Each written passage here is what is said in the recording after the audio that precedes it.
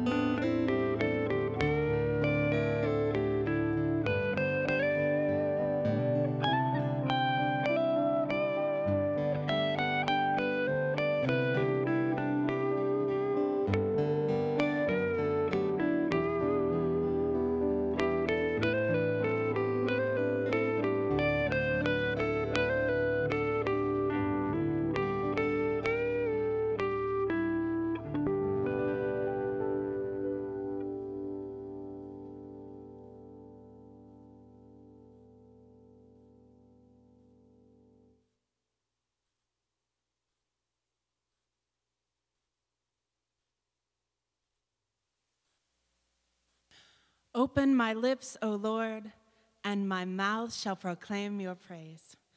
O God, by the leading of a star, you manifested your only Son to the peoples of earth. Lead us, who know you now by faith, to your presence, where we may see your glory face to face. Through Jesus Christ our Lord, who lives and reigns with you in the Holy Spirit, one God, now and forever. Amen. Welcome in on this Epiphany Sunday. We're glad that you are here and joining us this morning, uh, whether live or, or, or later. We're so glad that you're with us and uh, part of our worship service together. Our, our opportunity this year is to uh, continue to find ways in which we continue worshiping in whatever mode or whatever means that may be. Uh, and we are glad that you're part of that. And if you would pray through this with us, be a part of this uh, prayer team as we continue to find ways in which we reach out to not just our own church body, to, but other people in our community who still need to hear the message of Jesus and the love of Jesus. We're going to start our service off this morning with something you know fairly well We Three Kings.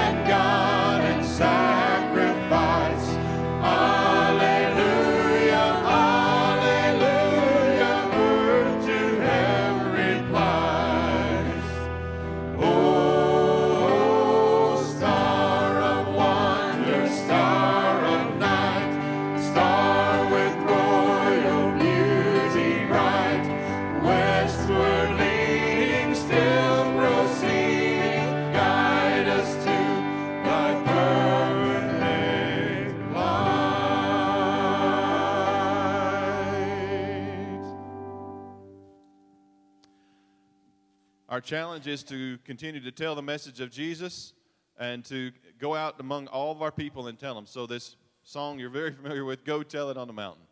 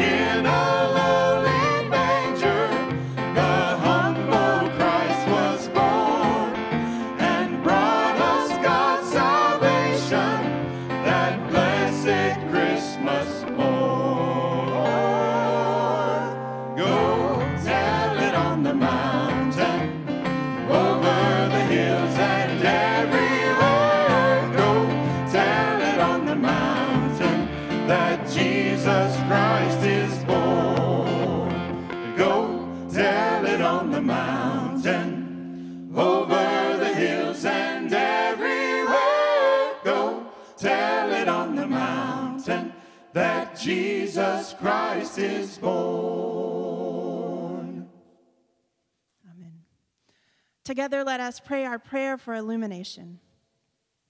Lord God, may your word be a lamp to our feet and a light to our path. Through Jesus Christ our Lord.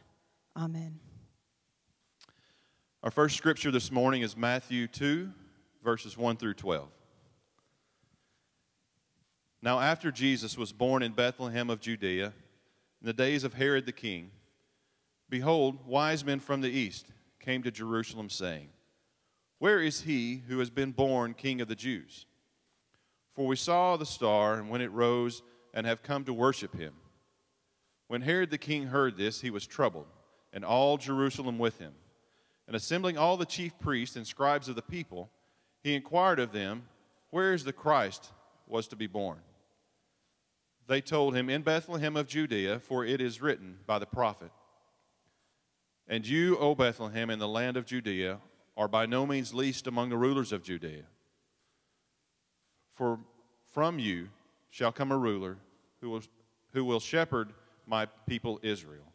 Then Herod summoned the wise men secretly and ascertained from them what time the star had appeared. And he sent them to Bethlehem, saying, Go search diligently for the child, and when you have found him, bring me word, that I may too come worship him. After listening to the king, they went on their way, and behold, the star that they had seen when it rose went before them until it came to rest over the place where the child was. When they saw the star, they rejoiced exceedingly with great joy. And going into the house, they saw the child with Mary, his mother. They fell down and worshiped him. Then, opening their treasures, they offered him gifts gold, frankincense, and myrrh. And being warned in a dream not to return to Herod, they departed to their own country by another way.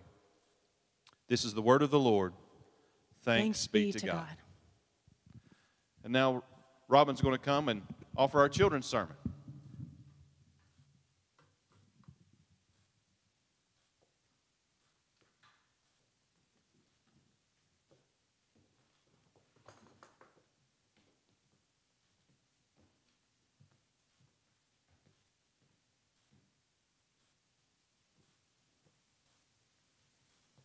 Good morning. God loves you. We're talking about a funny word today. In the church terms, today's word is epiphany. And I want to talk to y'all about what that means. Epiphany is when all of a sudden something that didn't make sense makes sense. It's when all of a sudden things are revealed. And so, what I'd like us to do is practice what it feels like when we figure something out. Now, you can use a word like aha or eureka, whatever works for you, but I want us all to practice it. So, everybody get ready. One, two, three. Eureka!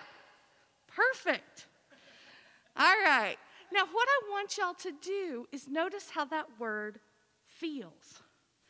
And think about when you've had a puzzle or a riddle or maybe something hard you were dealing with with God and the church.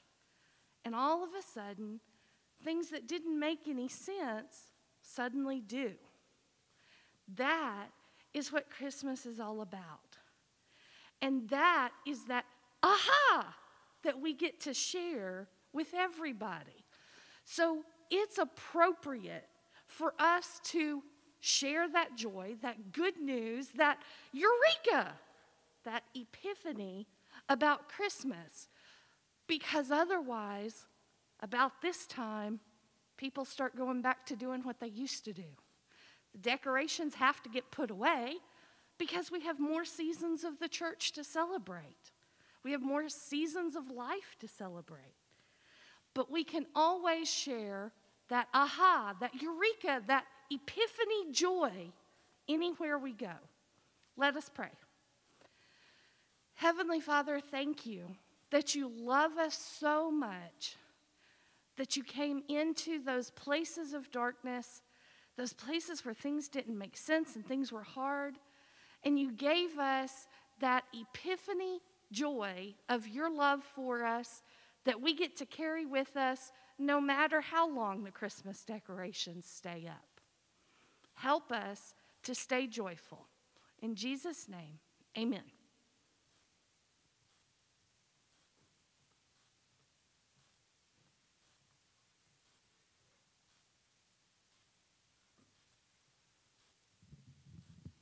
Thank you, Miss Robin.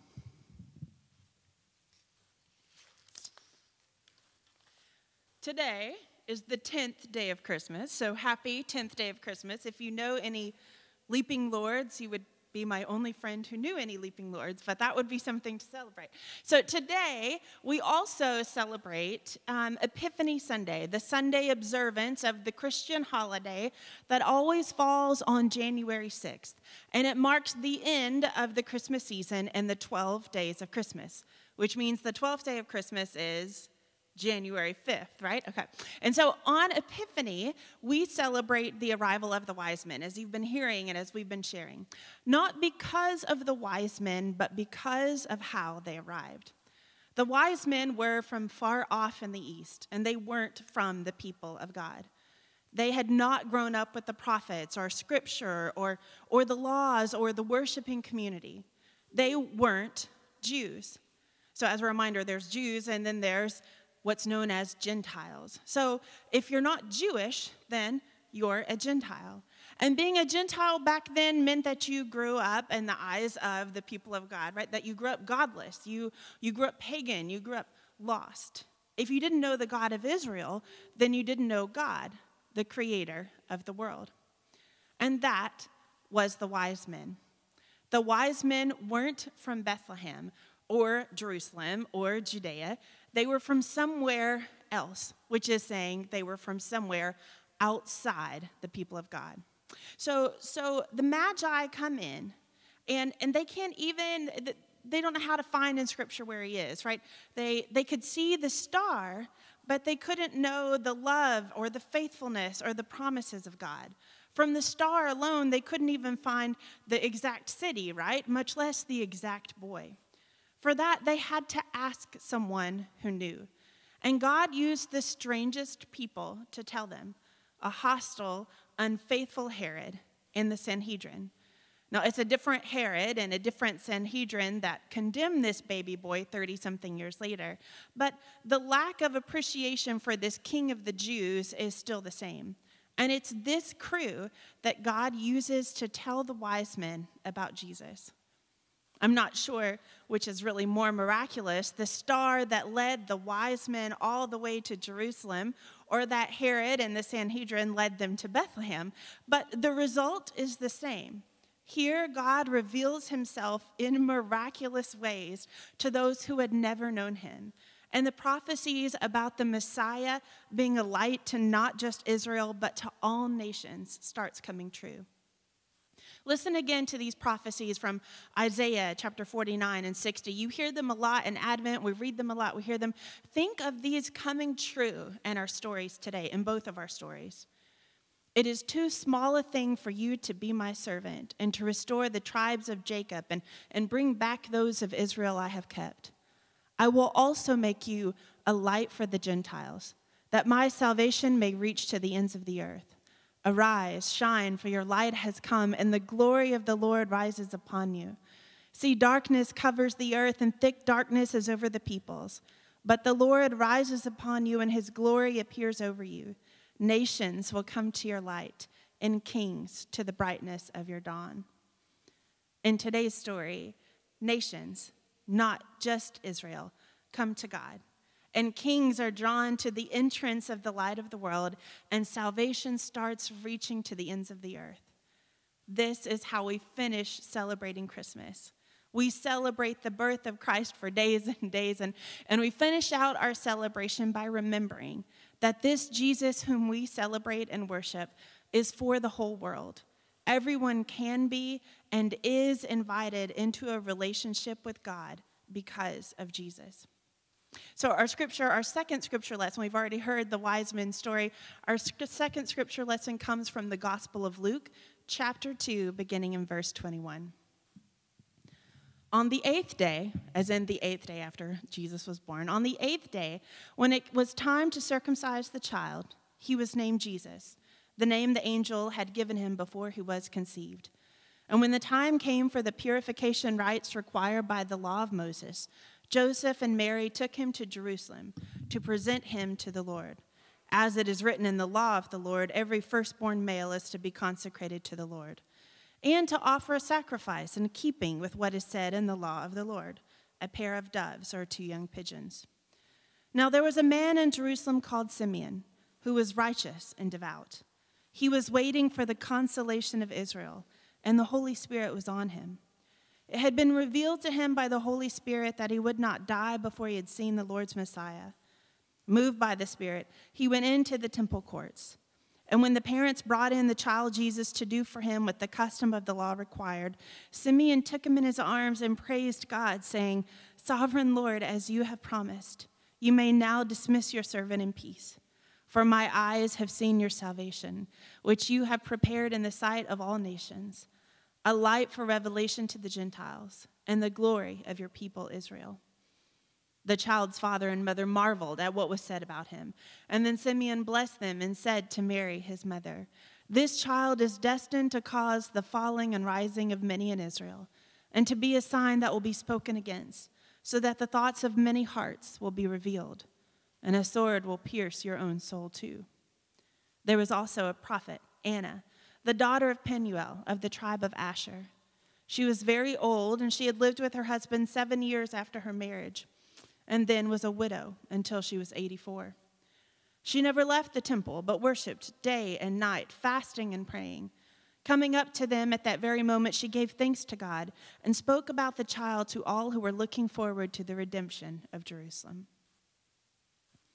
This is the word of the Lord. Thanks be to God. So Luke continues his Christmas story, the one that we read every Christmas. He continues this story with this passage. And following Old Testament law, Jesus is circumcised on the eighth day, and according to the angel Gabriel's instructions, they name him Jesus. So both parents here are honoring God's words to them, whether they come through a scripture or through an angel.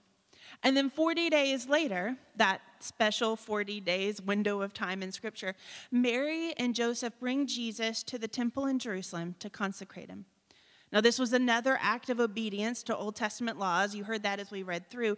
And you can read about them in Exodus 13 and Leviticus 12, where basically God commanded that, that every firstborn male be consecrated to him, whether animal or human being. Because they were poor, so chronologically, this story takes place before the story we read earlier, right? The wise men. The wise men show up at what we estimate was about two years after the birth of Jesus. This is happening 40 days after the birth of Jesus. So at this point, they don't have any gifts from the wise men. They're dirt poor. They can't afford a nice offering. So all they can do instead of the traditional lamb is offer up two turtle doves. While they're at the temple, Joseph and Mary hear more about the miraculous baby.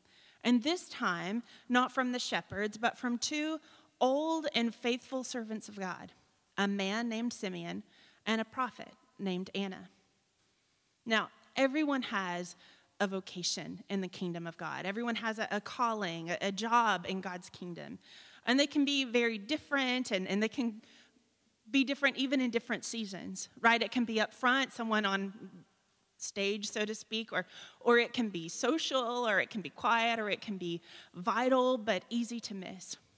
I don't know what Simeon and Anna's roles looked like in every season of their lives, but here, their vocation has been to listen and to wait and to pray and to fast for years. They're doing something that we, even we could do back in 2020, right? That, that even we could do in a nursing home or, or even in quarantine. But instead of feeling like they're doing nothing or wasting their days or resenting it, they're faithful to their task. And when God Himself appears before them in the person of a 40 day old baby, it is they and not the chief priests and the teachers of the law who recognize Him and are filled with hope and gratitude. Simeon's words in this passage make up part of the um, traditional nighttime devotions that the church has used for centuries and, and that Jason and I say at night with Thomas and John. And the devotion begins with, with a psalm that by now I've memorized, and, and then a scripture reading, and, and then it continues with these words of Simeon Lord, you now have set your servant free to go in peace as you have promised. And I've spent a lot of time reflecting on these words, what, six years, and, and they always, even now, feel a little jarring. It's at it's at bedtime, it's the end of the day, the light is there at the end of the tunnel, right? The kids are going to sleep, finally going to get some time and, and we've done this routine, and the readings include a Bible story, but you know they sometimes also include Dr. Seuss and or animals, noises, or dinosaurs, or right now we're really into Minecraft gaming guides. But eh, to follow all that up with Simeon's words seems strange.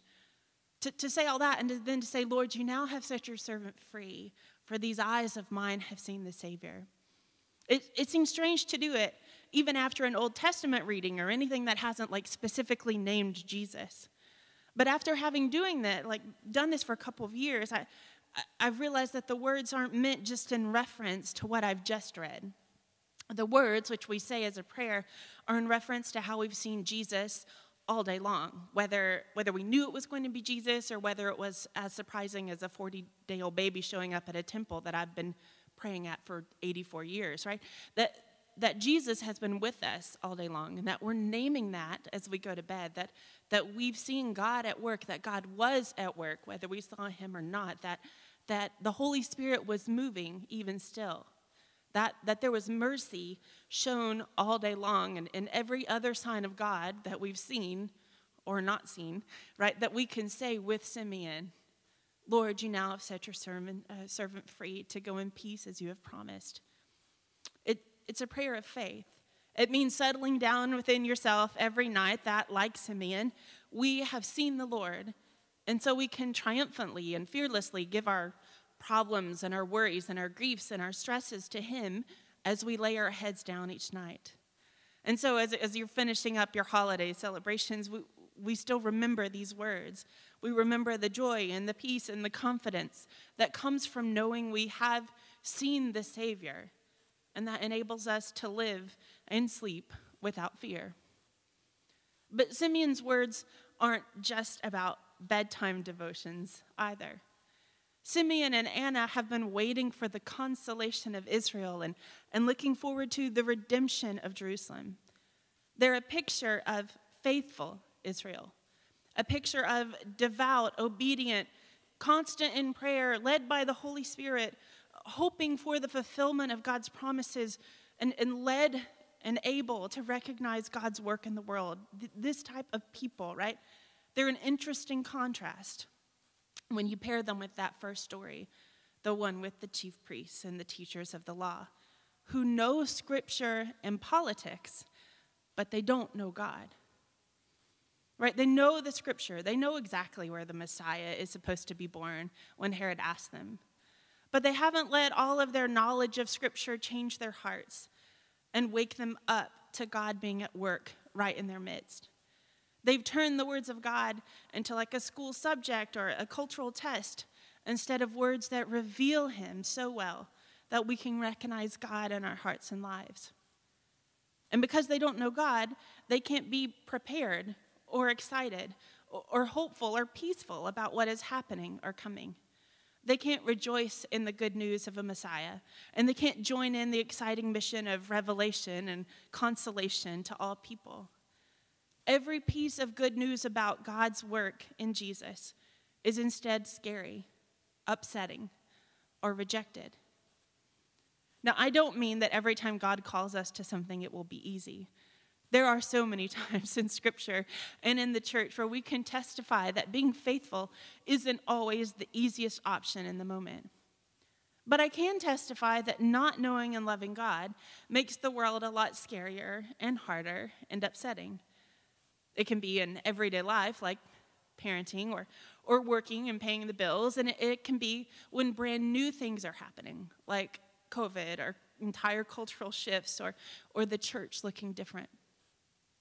God continues to be at work, even if we don't like the different circumstances. God continues to be faithful, even if we don't have the eyes or the hearts or the ears to see or hear or believe. And God continues to call us, whether by star or scripture or, or other faithful believers, to witness and hope and rejoice and join in the good news of Jesus for the whole world. Let us pray.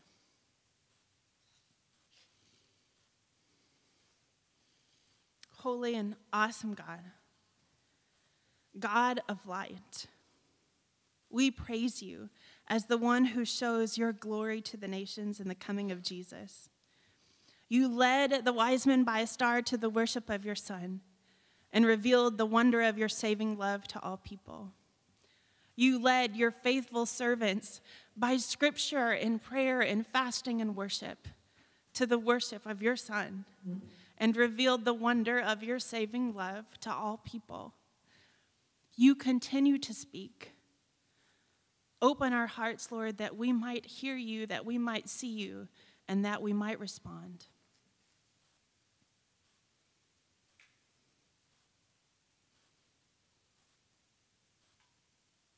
Lord, in your mercy, hear our prayer.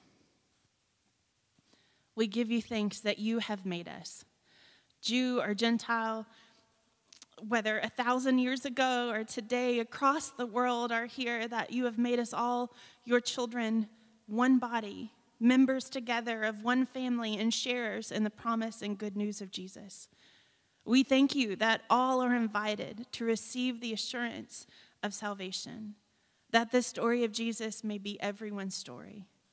We thank you for these reflections of your glory in our world and church in our community. Help us to see these signs of glory as signs of your coming kingdom.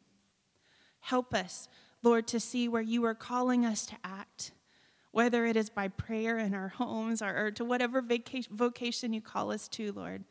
May we see it and respond.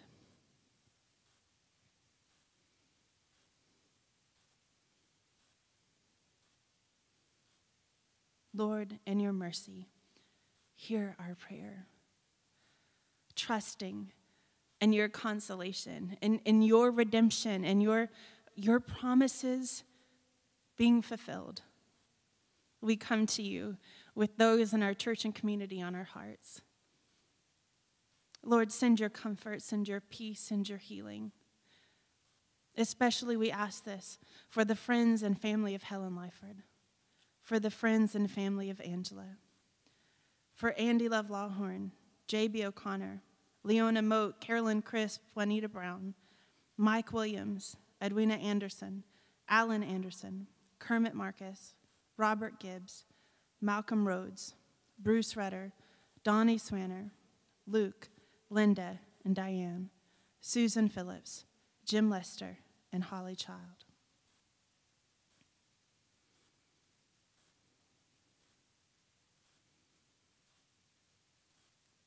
Lord, in your mercy, hear our prayer.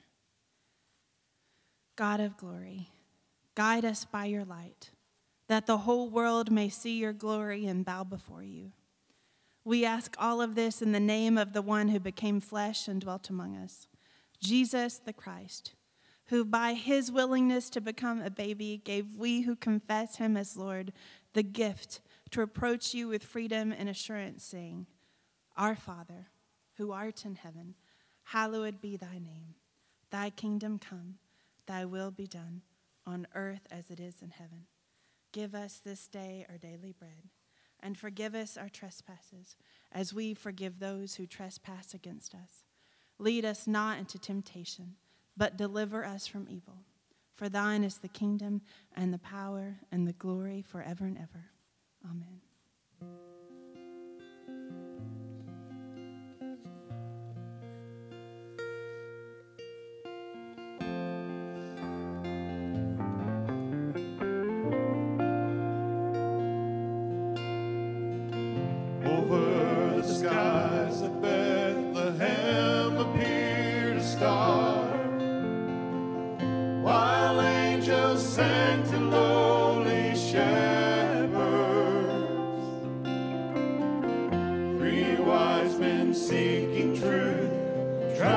From afar,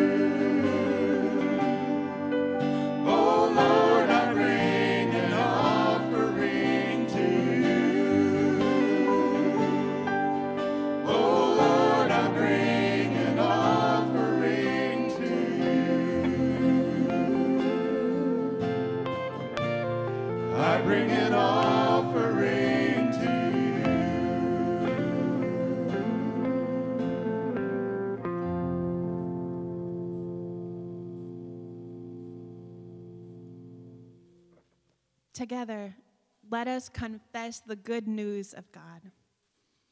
I believe in God the Father Almighty, maker of heaven and earth, and in Jesus Christ, his only Son, our Lord, who was conceived by the Holy Spirit, born of the Virgin Mary, suffered under Pontius Pilate, was crucified, dead, and buried. The third day he rose from the dead. He ascended into heaven and sitteth at the right hand of God the Father Almighty. From thence he shall come to judge the quick and the dead. I believe in the Holy Spirit, the holy Catholic Church, the communion of saints, the forgiveness of sins, the resurrection of the body, and the life everlasting. Amen. Offerings may continue to be given by your praise, um, by your confessions of faith, by acts of service, and um, prayer you'll see listed there in your bulletin, our, our prayer list. And of course, offerings um, can be mailed into the church or given online. As you go, know yourself to be invited into the salvation and consolation of God's people. Know that you are loved and know that God calls you into his glorious work of light dawning all over the world. Receive now this blessing. May the Lord bless you and keep you. May he make his face to shine upon you and be gracious to you. May he turn his face towards you and give you peace. In the name of the Father, and the Son, and the Holy Spirit. Amen.